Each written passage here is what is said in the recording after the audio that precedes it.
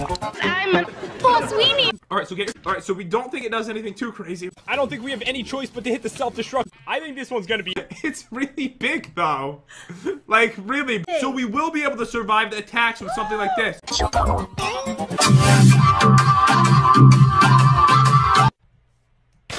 Oh God!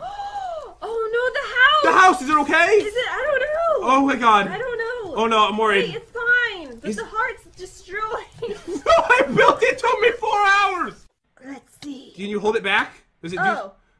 Uh oh. Oh, oh. No! No!